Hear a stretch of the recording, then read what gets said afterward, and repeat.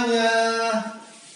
Selamat datang di Bida Mana Santo Laurentius Bandung bersama Kak Diki dan Kak Albert. Hai, waduh Kak Diki, selamat hari Minggu. Selamat hari Minggu Kak Albert Nah, Kak Diki, minggu lalu kita sudah merayakan Minggu Advent yang kedua, makanya udah ada dua lilin ini. Dan berarti minggu ini kita merayakan Minggu Advent yang ketiga. Tiga. Ya, Atau disebut dengan Minggu Gaudete Minggu Gaudete. Apa itu Kak Diki? Minggu Gaudete itu adalah minggu yang penuh dengan sukacita Ah, wah, adik di rumah semua juga penuh dengan Sukacita Nah, sekarang kita mau apa nih Kak? Kita mau nyanyi dulu dengan penuh sukacita tentunya. Oke, adik-adik, mari kita nyanyikan lagu yang penuh dengan sukacita. Lagu apa itu Kak Diki? Hari ini kurasa bahagia. Yuk, Kak. Rasa bahagia. Oke, ayo.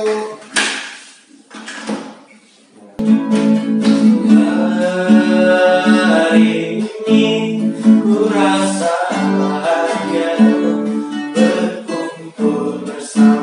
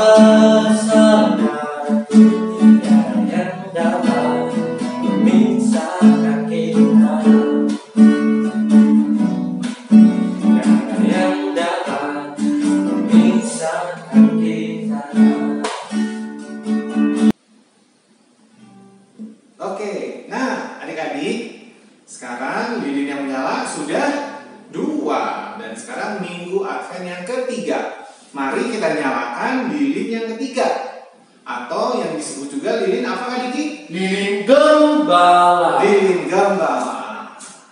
Lilin gembala ini melambangkan gembala-gembala yang menyambut Tuhan dengan penuh sukacita. Wow. Tapi sebelum itu kita mau doa dulu nih kak. Ya, ayo kita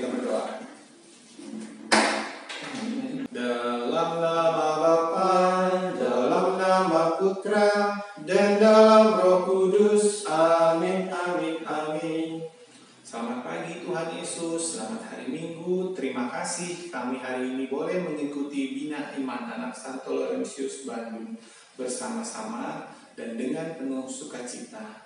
Tuhan berkatilah kami dalam perayaan Minggu Advent yang ketiga ini. Lindungilah kami, keluarga kami agar sehat selalu. Terima kasih Tuhan Yesus. Amin. Dalam nama Bapa, dalam nama Putra, dan dalam Roh Kudus. Amin. Oke, Kak Diki. Sekarang Kita mau nyanyi lagi nih kak. yuk kita Kak. nyanyi lagi. Karena kita sebentar lagi mau mendengarkan firman Tuhan, mari kita siapkan hati kita mendengarkan firman Tuhan dengan lagu yang berjudul Kusiapkan hatiku Siapkan hatiku Tuhan. Adik-adik di rumah siapkan hati untuk mendengarkan firman Tuhan. Mari kita nyanyikan. Kusiapkan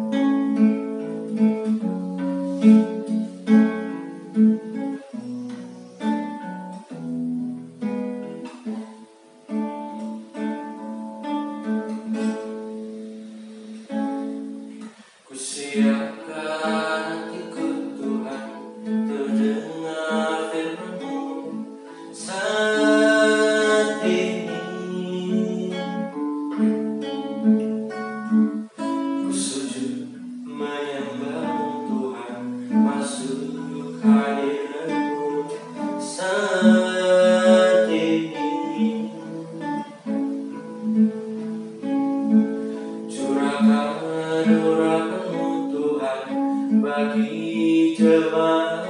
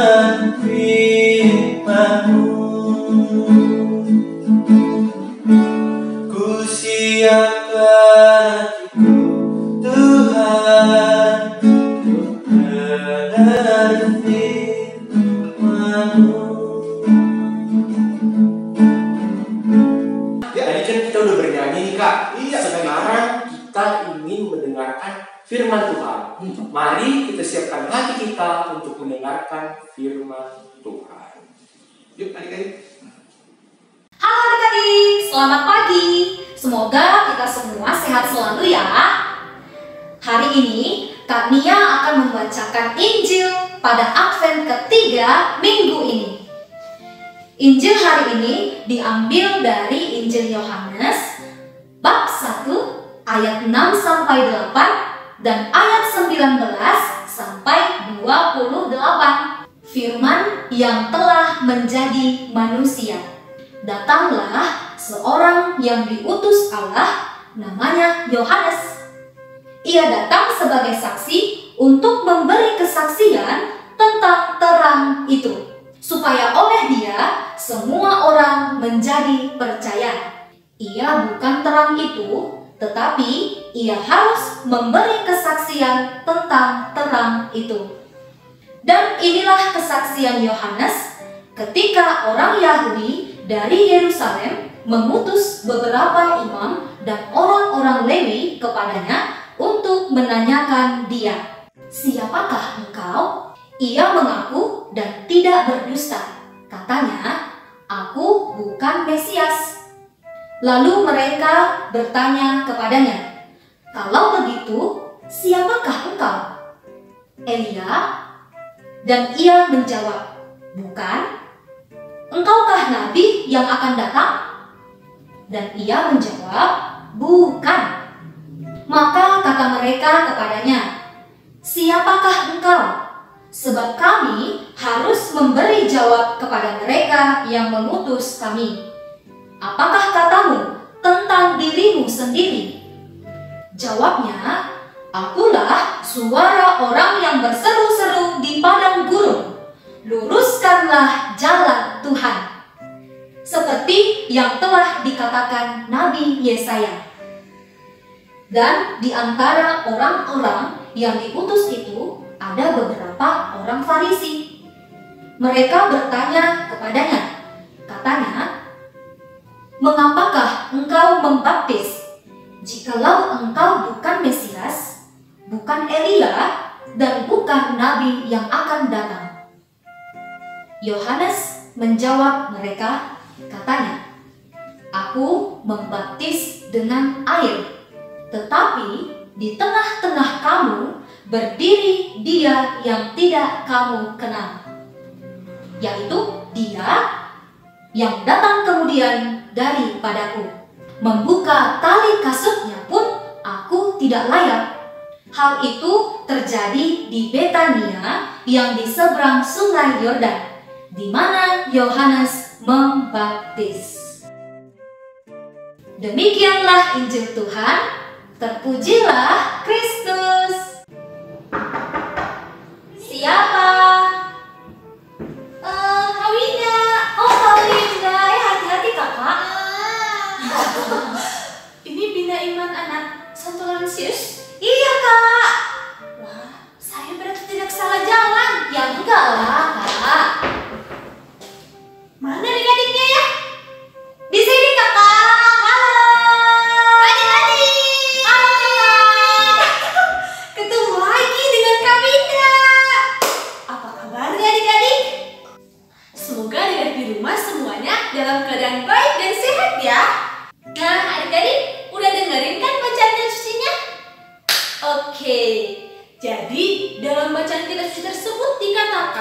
Bahwa Tuhan Allah itu selalu beserta kita, selalu ada bersama-sama kita. Tetapi kita cenderung tidak mengenalinya. Oleh karena itu, Allah pun mengutus utusannya, yaitu Yohanes. Allah mengutus Yohanes ke dalam dunia ini untuk mewartakan, mewartakan Sang Mesias, Sang Terang. Siapakah dia, Sang Terang tersebut? Tuhan Yesus Kristus. Jadi adik-adik, Yohanes Pembaptis itu bukanlah Elia, bukanlah nabi yang akan datang, atau juga bukan Mesias, tetapi dia hanyalah utusan Allah untuk mewartakan, memberi kesaksian tentang Yesus Kristus yang adalah Mesias Sang Terang yang dinanti-nantikan oleh kita semua. Jadi adik-adik, kedatangan Yohanes itu pun tidak hanya mewartakan tentang Sang Mesias, tetapi dia juga berseru-seru untuk menyiapkan jalan bagi Tuhan. Jadi Yohanes mengajak kita semua untuk menyiapkan hati kita menyambut kedatangan Yesus Kristus. Nah adik-adik, ternyata minggu ini kita sudah memasuki minggu Advent yang ke tiga.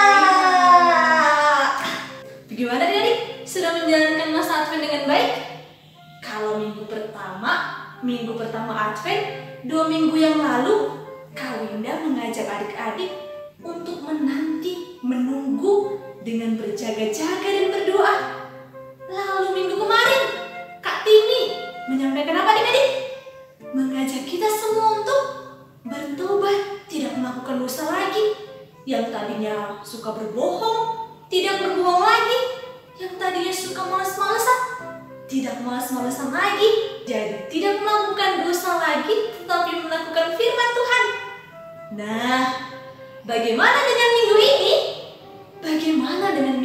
Advent yang ketiga ini?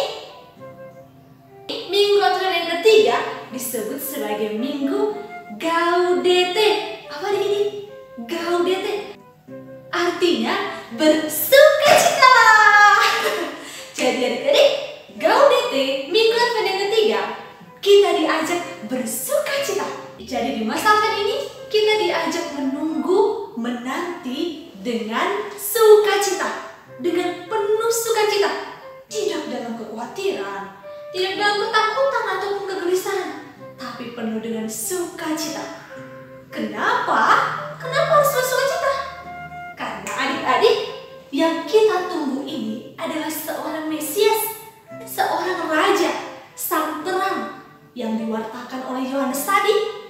Dan waktunya sebentar lagi adik-adik, sebentar lagi yang kita tunggu-tunggu akan tiba. Sebentar lagi kita akan merayakan Natal, kelahiran Yesus Kristus. Nah adik-adik, Yohanes Pembaptis diutus Allah ke dunia ini untuk mewartakan Yesus Kristus, Sang Mesias, kepada kita, supaya juga mengajak kita semua untuk menyiapkan jalan bagi Tuhan. Bagaimana menyiapkan jalannya? Yaitu menyiapkan hati kita, menyiapkan hati kita semua agar kita layak menyambut kedatangan Tuhan Yesus. Bagaimana caranya? Yuk, kita menjalani masa Advent ini dengan baik. Menjalani masa penantian ini dengan baik. Seperti minggu Advent pertama, kita diajak menunggu, menanti dalam masa Advent ini dengan berjaga-jaga dan berdoa. Minggu Advent kedua, kita diajak untuk tidak melakukan dosa lagi, bertobat, dan melakukan firman Tuhan. Minggu Advent ketiga, dalam menanti dan menunggu ini, kita harus tetap bersuka cita. Jadi, yuk mempersiapkan jalan bagi Tuhan dengan mempersiapkan hati kita supaya layak menyambut kedatangan Tuhan. Siap? Oke adik-adik, bye-bye. Bersuka cita, berjaga-jaga dan berdoa dan melakukan firman Tuhan. Selamat pagi adik-adik. Saatnya kita membuat aktivitas ya. Yuk kita siapkan dahulu bahannya. Sedikit saja karton, lalu sedikit kertas HVS. Kita siapkan juga isolasi, gunting, pensil warna, lem uhu, spidol, bolpen, dan sedikit pita kira-kira 15 cm. Langkah yang pertama, kita gambar dahulu lingkaran dengan menggunakan pola isolasi ini ya adik-adik ya. Seperti ini. Boleh menggunakan bolpen yang adik-adik sudah siapkan tadi.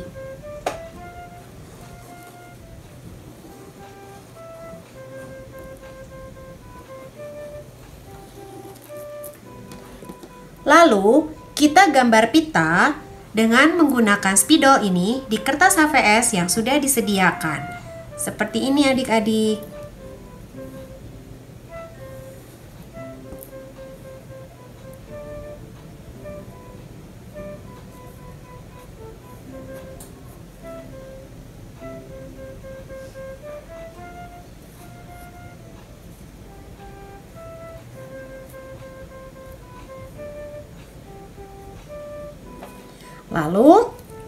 Kedua gambar ini kita gunting ya adik-adik ya.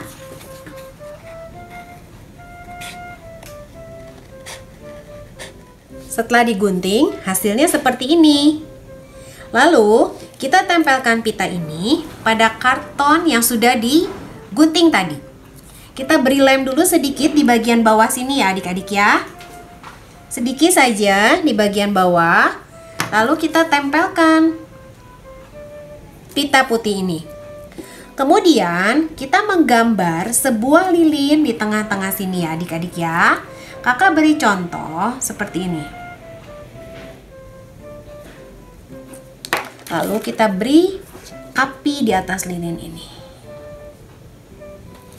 Ini melambangkan apa adik-adik kalau lilin? Terang ya. Seperti yang diceritakan tadi di Injil bahwa Yesus hadir menjadi terang di dunia ini. Jadi kita gambarkan lilin ini ingin menggambarkan bahwa Yesus hadir di tengah-tengah kita sebagai terang. Jadi kita gambarkan dahulu di sini wajah-wajah kita ya adik-adik ya. Adik-adik boleh menggambar wajah adik-adik, wajah kakak, wajah mama, papa. Kalau punya adik juga digambarkan di sini ya. Lalu adik-adik boleh menggambarkan bintang-bintang. Setelah adik-adik menggambar, adik-adik beri warna ya dari gambar lilin ini juga gambar wajah adik-adik, eh, mama papa. Di sini diberi warna semua ya. Kakak akan memberikan warna lilinnya berwarna biru. Nah, kakak sudah mampir selesai mewarnai semua gambarnya ya adik-adik ya. Setelah selesai diwarna seperti ini. Kemudian ambil bolpen dan tuliskan di bagian atas Yesus terang dunia. Lalu di bagian pita ini adik-adik boleh tuliskan ya Ayat hafalan minggu ini adalah Yohanes 1 ayat 26b. Isinya apa? Adik-adik baca lagi ya Alkitabnya hari ini. Apa Yohanes 1 ayat 26b? Kemudian bagian terakhir adik-adik ambil pitanya. Tempelkan di bagian belakang sini adik-adik. Dengan menggunakan solasi ya.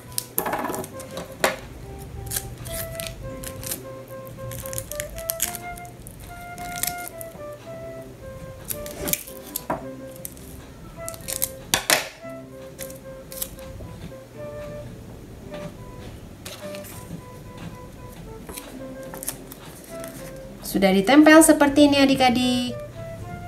Nah, sudah selesai aktivitas kita hari ini. Adik-adik boleh gantungkan aktivitas yang sudah dibuat hari ini di kamar adik-adik atau di meja belajar adik-adik, supaya adik-adik selalu ingat bahwa Yesus itu terang dunia bagi kita semua. Selamat mengerjakan adik-adik. Selamat hari Minggu, Tuhan Yesus memberkati. Nah, adik-adik, gimana hari ini? Tadi kan adik-adik semua sudah uh, mendengarkan firman Tuhan, sudah menyanyi, sudah beraktivitas yang seru. Oke, sekarang sebelum kita menutup Bina Iman Anak hari ini, marilah kita berdoa. Oke, doa akan dipimpin oleh Kadiki. Dalam nama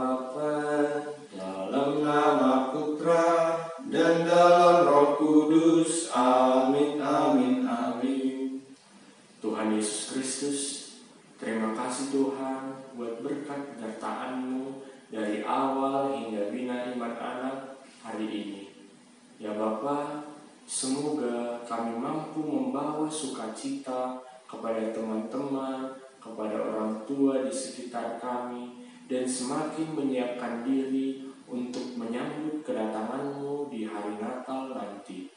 Dengan perantaraan Yesus Kristus kami berdoa dan mengucap syukur. Amin. Dalam nama Bapa, dalam nama Putra, dan dalam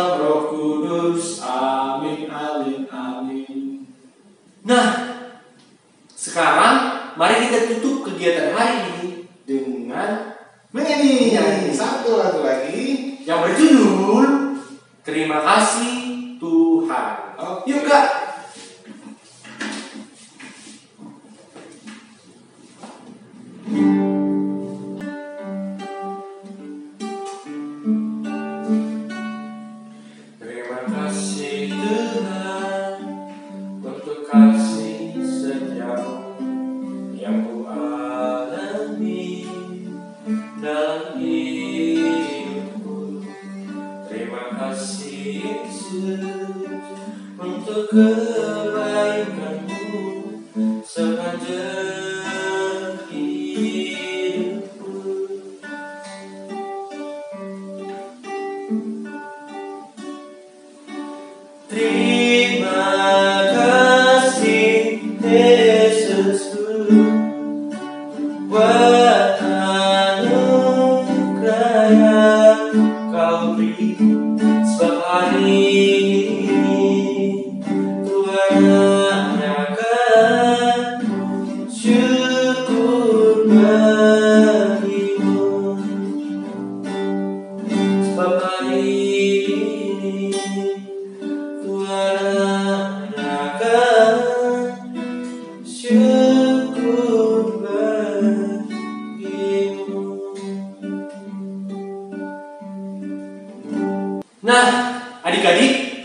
kita hari ini sudah selesai. Ya. Terima kasih untuk Terima kasih adik-adik di rumah. Terima kasih Kadiki. Terima kasih Albert. Sampai jumpa. Dadah.